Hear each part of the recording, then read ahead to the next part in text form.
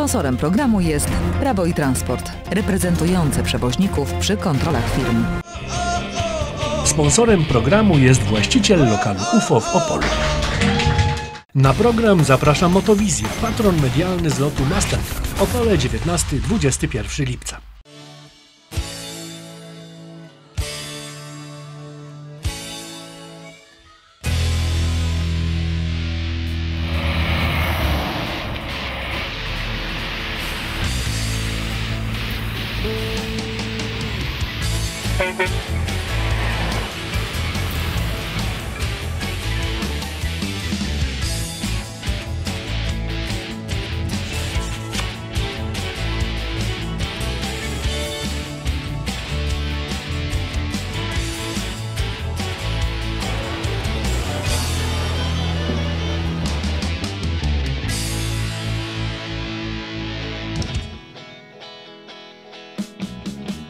Jesteśmy ponownie i serdecznie witamy.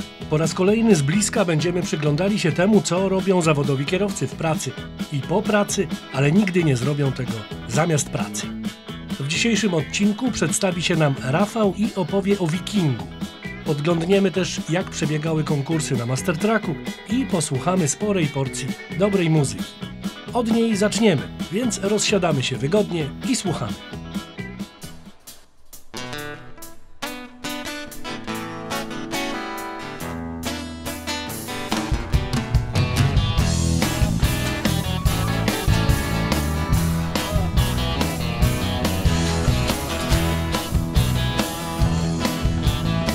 I got the talent, I got the looks. I know I can be just as big as straight and roots.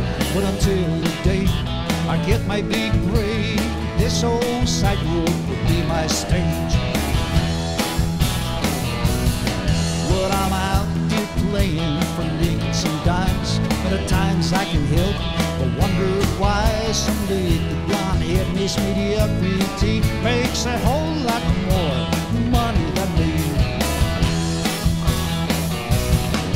And a crowd just keep on walking by.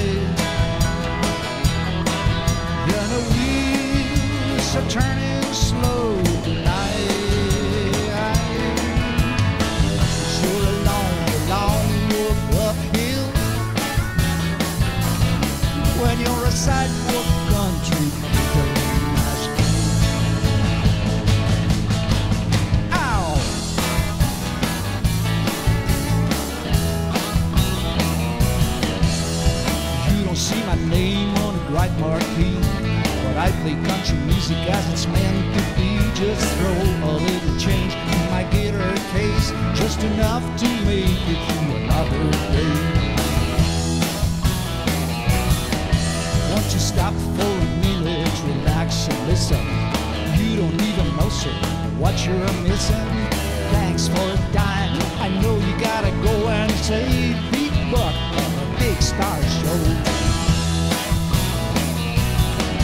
In the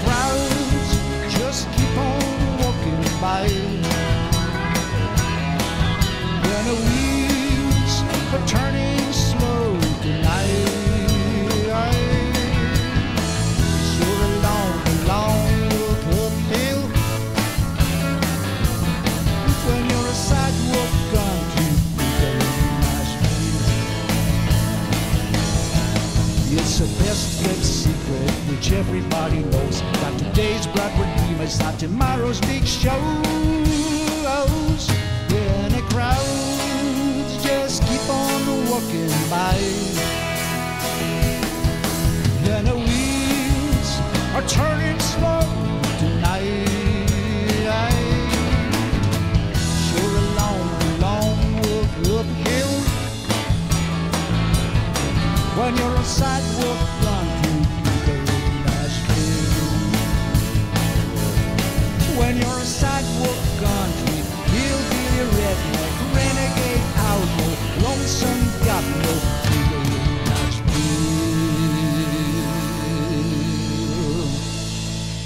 Yes, sir.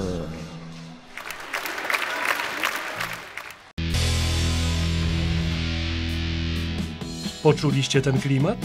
Przy takich rytmach szybciej mijają kilometry na trasie. a nasz dzisiejszy bohater pokonuje ich całkiem sporo. Pogadajmy z Rafałem, który do Skandynawów jeździ w towarzystwie wikinga.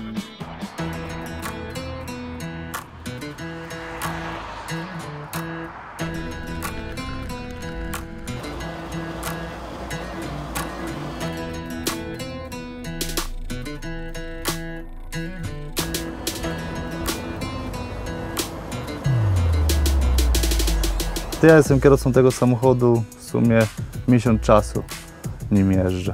Gdzieś około 4 do 6 miesięcy trwa przygotowanie takiego auta. Z zewnątrz i wewnątrz. To jest akurat tak pomysł właśnie szefa i ma taką właśnie zamiłowanie do zmian ciężarówek. Jak to kiedyś tam powiedział, żeby ten transport był kolorowy, a nie tylko biało-czerwony. Jako malunek bardzo mi się podoba szczególnie ta część za kabiną, co jest. Ten jeden wielki malunek, jest zrobiony. Trzeba przynajmniej więcej poświęcać czasu na jakieś tam zachowanie czystości w samochodzie. E, Co do widoku wizualnego, no to na pewno jak się przejeżdża przez jakieś miasta czy gdziekolwiek, to jest duże zainteresowanie, bo ludzie spoglądają, uśmiechają się, machają do nas. Czasami jak się stoi na parkingu, po prostu podchodzą, zdjęcia sobie z naszymi samochodami robią. Tutaj trafiłem, tak powiedzmy, z polecenia kolegów, którzy mnie znali, a wcześniej już pracowali w tej firmie właśnie Tomtek.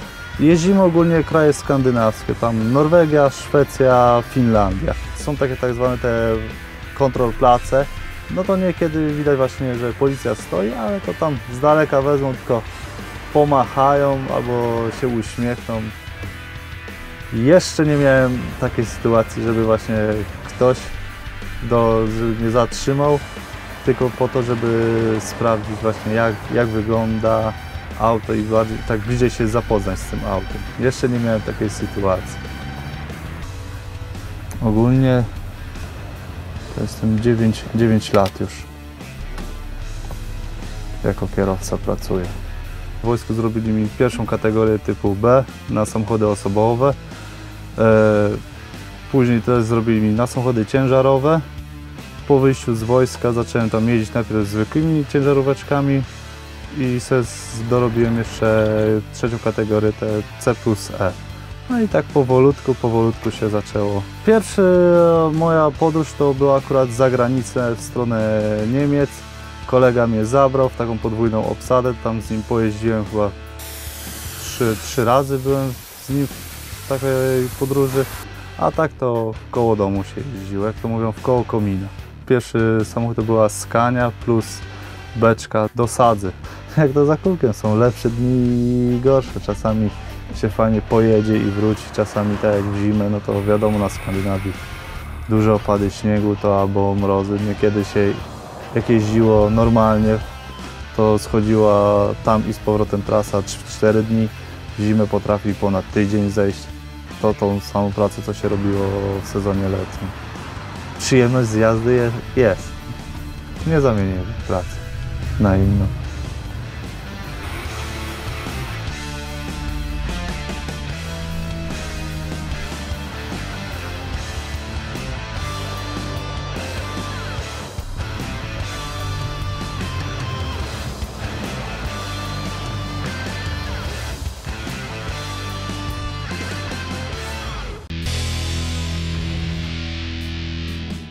No i proszę, jeszcze nie został zatrzymany do kontroli przez służby, które by chciały bliżej zapoznać się z tuningiem pojazdu. A u nas nieubłaganie nastał czas przerwy. Jednak od razu po niej wprowadzamy nasze rock'n'rollowe klimaty. Sponsorem programu jest Prawo i Transport, reprezentujące przewoźników przy kontrolach firm. Sponsorem programu jest właściciel lokalu UFO w Opolu. Na program zaprasza Motowizja, patron medialny z lotu Mastercraft. Opole 19-21 lipca. Cierpliwość nagradzamy dobrym utworem, po którym zaglądniemy na konkursowe place 14 Mastertracka. Wielkie dzięki, moi drodzy, powoli zbliżamy się do końca, ale lecimy dalej. Ten utwór jak najbardziej nadaje się do tańca, aż zdejmę gitarę, żeby pokazać jak się spociłem dla was.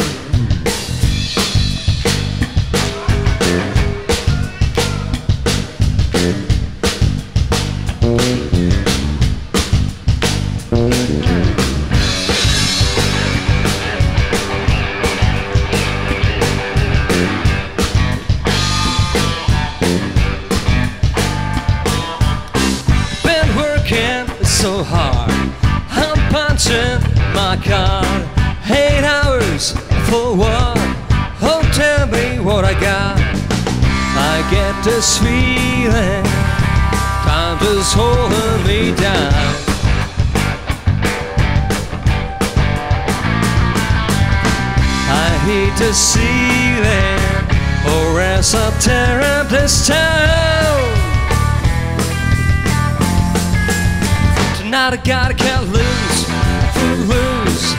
Kick off your Sunday shoes. Please, Louise, I pull me up from my knees. Attack, I get back. Come on before we crack. Blues, ill blues. Everybody got the blues.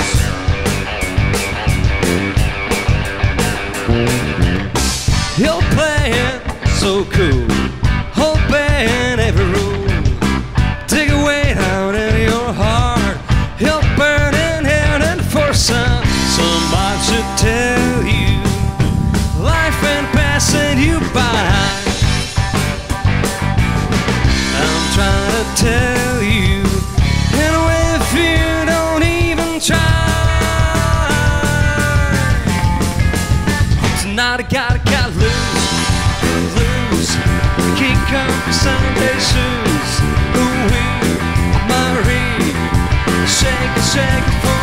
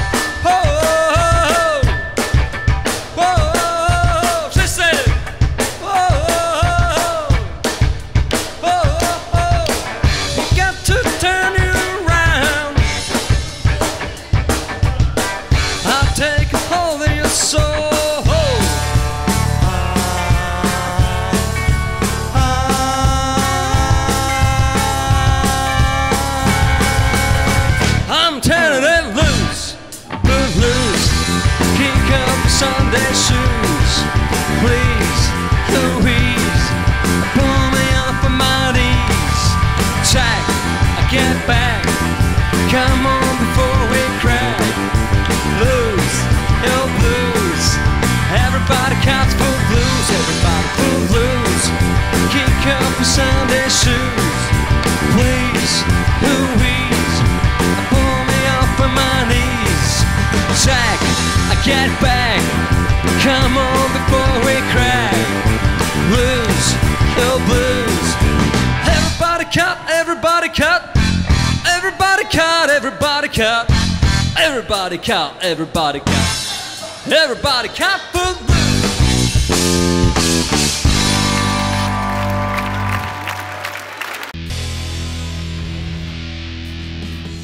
pewnością wielu trackerów lubi takie rytmy.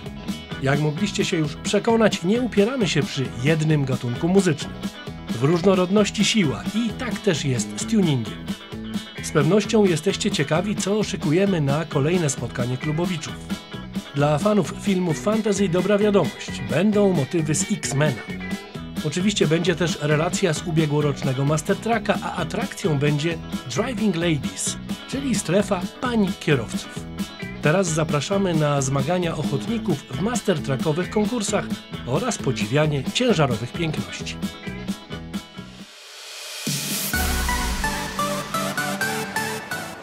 Czternasty zlot Master Track był wyjątkową imprezą. Dopisała pogoda, wystawcy i zwiedzający. Całe rodziny świetnie bawiły się w trakerskiej scenografii tworzonej przez najpiękniejsze ciężarówki Europy. Słowne i dźwiękowe obrazki ze zlotu relacjonowała ekipa programu Pierwszego Polskiego Radia, obecna na lotnisku w polskiej Nowej Wsi. Były też relacje w Motowizji, które można było oglądać na żywo dzięki łączom grupy Multiplay. Dzięki temu kierowcy nieobecni na Mastertracku z przyczyn zawodowych byli na bieżąco z wydarzeniami. Niestety ani przez radio, ani za pomocą telewizji nie dało się wziąć udziału w licznych konkursach, jakie niemal bezustannie odbywały się na centralnym placu zlotu. A było o co powalczyć i na co popatrzeć. Zawsze chciałem przyjechać i żeby w końcu się udało. Przyjechaliśmy całą rodziną i świetnie się bawimy. Bardzo fajna, naprawdę mnóstwo ciekawostek, są ciekawe konkursy. Tak, konkursy to nasza specjalność. Dzięki hojności sponsorów zlotu, takich jak Opol Trans, można było zorganizować ciekawe konkurencje z atrakcyjnymi nagrodami. Jedną z nich było celowanie do bramy z beczek wypełnionych olejem Wolf. Chleb powszedni wśród kierowców zawodowych. Trudność jednak polegała na samodzielnym, organoleptycznym ustaleniu szerokości między beczkami, na dodatek z odległości. Następnie należało przejechać pomiędzy beczkami bez szkody dla auta. Powszechnie wiadomo, że współczesny samochód ciężarowy ma 255 cm szerokości, ale nikt w oku nie ma metrówki. Owszem, można było poprosić o rozsunięcie beczek nawet na 4 metry, ale punkty zdobywało się za jak najwęższy wjazd do garażu. Efekty tej konkurencji przydają się na co dzień, chociaż odradzamy tak wąskie bramy, nawet jeśli widziało się nie takie rzeczy w miejscach za lub rozładunku.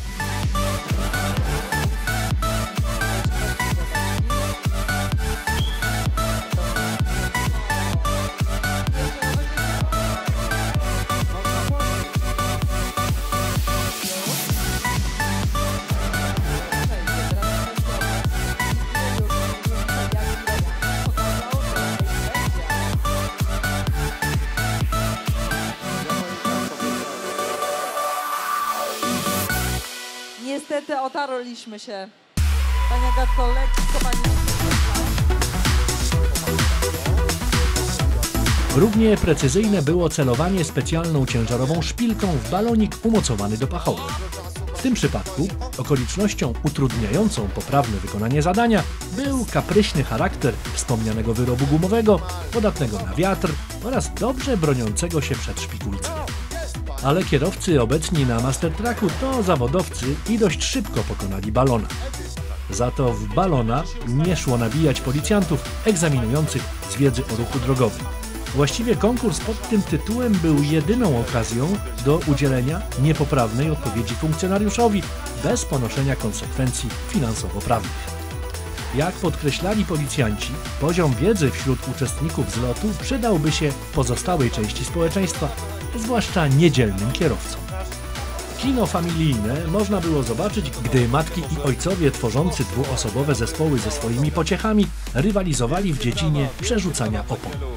Dość wyczerpująca konkurencja integrowała rodziny, co nas bardzo cieszy, ponieważ transport drogowy to w wielu przypadkach solidne firmy rodzinne. A im silniejsze relacje, tym lepszy biznes.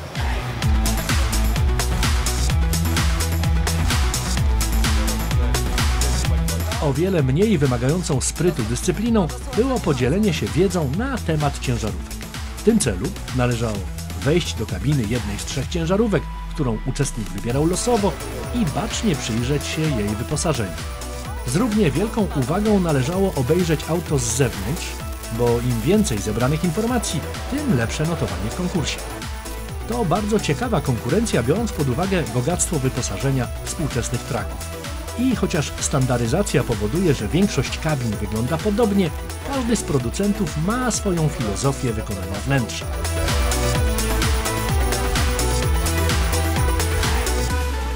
Dla tych, którzy jeszcze nie wiedzą, gdzie w ciężarówce jest hamulec ręczny lub nawet nie mieli prawa jazdy, policja zorganizowała konkurs TIR na dwóch kołach. Od razu uspokajamy. Nie chodziło o jazdę ciągnikiem na dwóch kołach, ale o jazdę na rowerze z przyczepką. Rolą tej ostatniej było utrudniać wykonywanie slalomu i celowanie do garażu.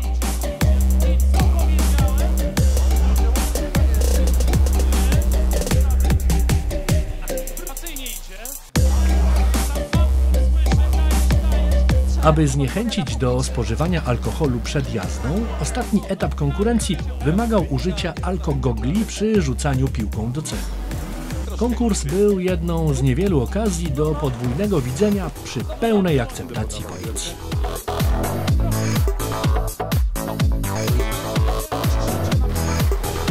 Tir na dwóch kołach to za mało? To może na jednym. Dyscyplina nazwana tirem na jednym kole również cieszyła się zainteresowaniem, wszak chyba każdy potrafi prowadzić taczkę. Ale żeby nie było za łatwo, na taczce znajdowała się beczka z olejem Wolf dostarczona przez Opol Trans. Wredny ładunek powiecie.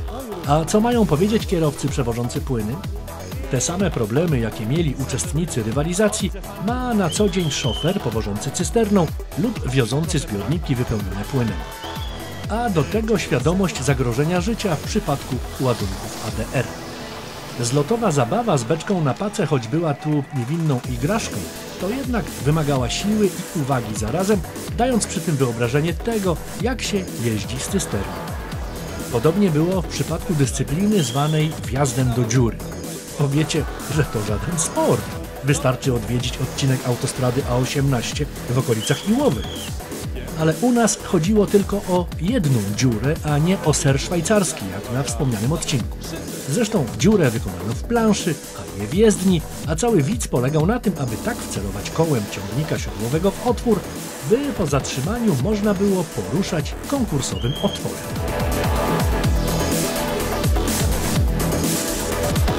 Czy jazda na takie centymetry świadczy o umiejętnościach kierowcy? Na pewno tak. A czy jest przydatna w życiu codziennym? No może nie zawsze, ale z pewnością taka rywalizacja podnosi kwalifikacje. Z kolei kierowca, który potrafi precyzyjnie manewrować zestawem, jest mile widziany w transporcie ponadnormatywnym lub w dystrybucji. Tam właśnie liczą się centymetry, precyzja i opanowanie, czyli zlotowe konkursy gdzieś obracają się wokół maksymy bawiąc uczyć. Poza tym duch rywalizacji dodaje pewności siebie, a nagrody uskrzydlają. Jakie konkursy i jakie nagrody zdobędą ich zwycięzcy, łatwo będziecie mogli zweryfikować, biorąc udział w tegorocznym Master Tracku, którego początek planujemy na 19 lipca i bawimy się przez 3 dni do 21 lipca. Jesteśmy przekonani, że wielu kierowców walczących na co dzień z monotonią pracy po trzech dniach na Master Tracku o wiele milszym okiem patrzy na siebie i swoją pracę. Świat nie może się obejść bez kierowców. Trzeba więc umilić im życie. A propos umilania, co sądzicie o porcji dobrej muzyki trackerskiej? Już ją wam włączamy.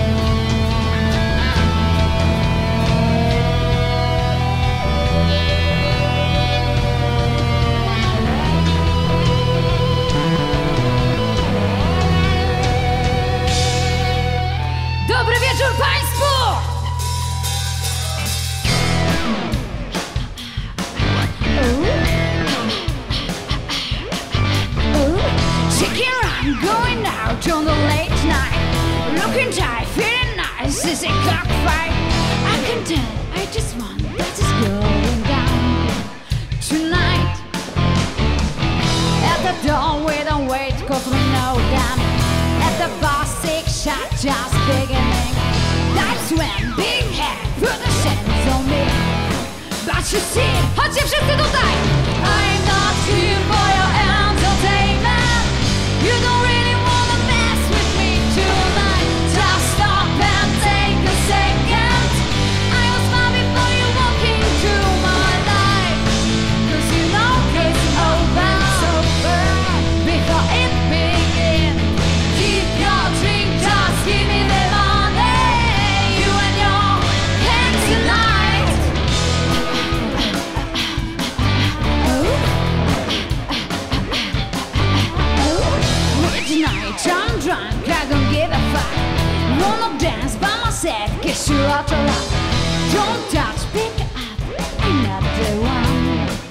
bye bye. Listen up, it's not just happening. You can say what you want to your boyfriend. Just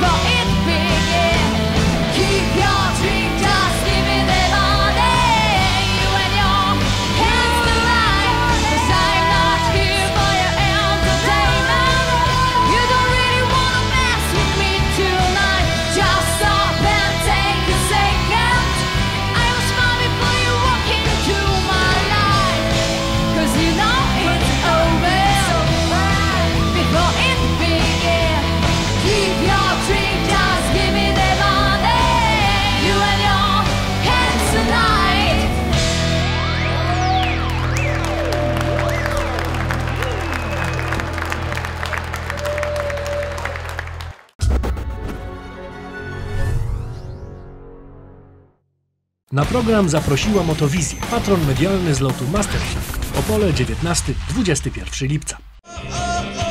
Sponsorem programu był właściciel lokalu UFO w Opolu. Sponsorem programu było Prawo i Transport, reprezentujące przewoźników przy kontrolach firm.